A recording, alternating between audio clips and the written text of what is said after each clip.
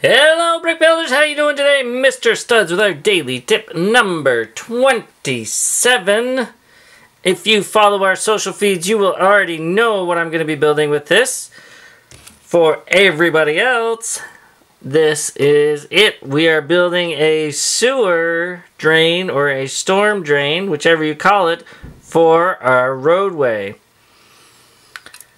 When I first started developing these roads, it was literally just to have an alternative to road plates. But the more I think about it, the more I realize that these roads can really be used to customize your city exactly how you want it. So for this particular um, build, we are actually going to be using a lot of the backside. So to accommodate that, I have blocked out the back to add strength and we will be using this back to build a whole lot of different details into our front, starting with the storm drain. So let me quickly go through how I came up with this. So here is the arch piece with a clip, and we're going to do the same one on the other side. Then we're going to flip those around so they mirror each other. We're going to take our grill piece and lock those two together. Now it is still a bit wobbly, so we're going to add some structure right now. We're going to take a plate, put that on, and use some brackets on the side. Put those in place. Now we can take some other plates, one by plates, and lock those in. And now we have a very strong structure. So we're going to use these ones to fill in. We're going to take some tiles on the side. We're going to take a plate on the top and finally another tile on the side. So we get a nice structure here with studs on the side and three smooth sides and you will happen to notice that this is exactly six studs wide. So we are going to integrate that into our road now. Before we do, we're going to take these 8 by plates and put those on the bottom.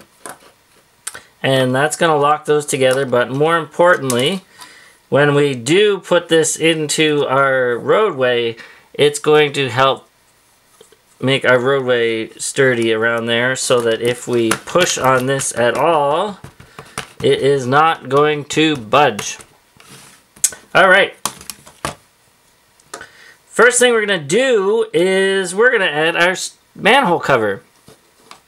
Quite simply, you take cylinder and toss it in and bang, we have a perfect manhole cover.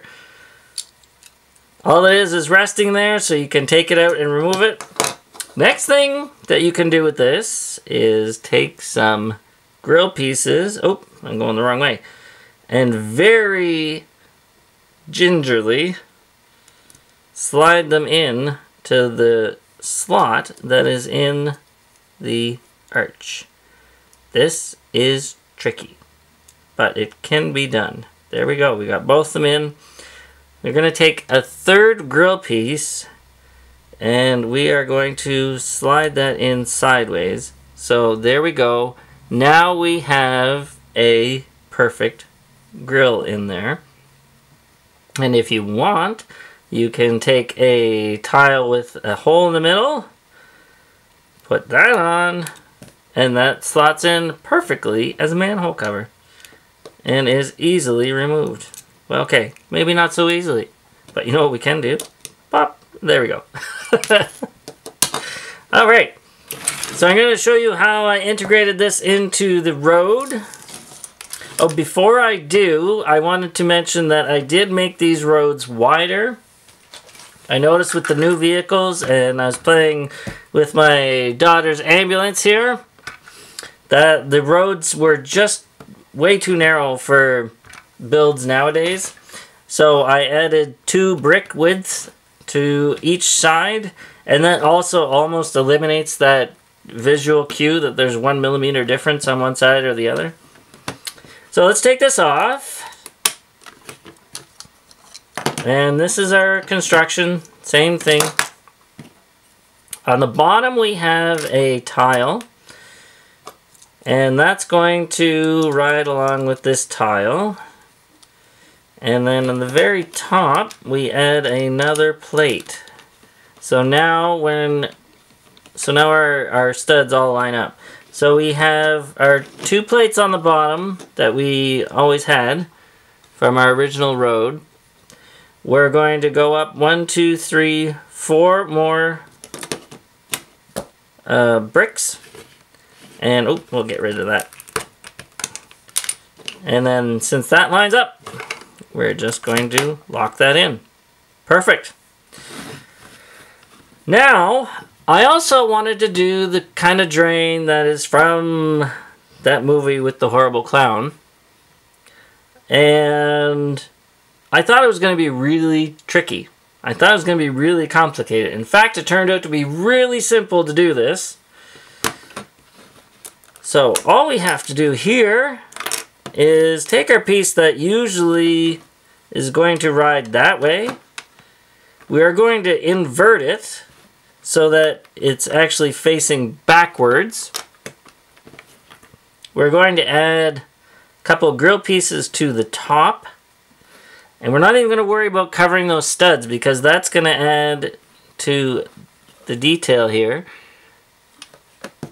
And then we put our tile back in place. And on the other side as well. Oh, that doesn't want to cooperate with me. There we go. And lock that down. And there we go. We have that drain. Super easy. Alright, I hope you found this helpful. I hope you get some inspiration to integrate some more details into these roads. We'll be doing crosswalks and all sorts of things, but this is just the beginning. Thanks so much for watching. Thanks to those who have liked, subscribed, and shared. Please continue to do so. If you wish to join the conversation, we are on Facebook, Twitter, and Instagram. And if you want to support our videos, please do so by pledging to Patreon. Have a fantastic day. Keep dreaming in bricks. Bye bye.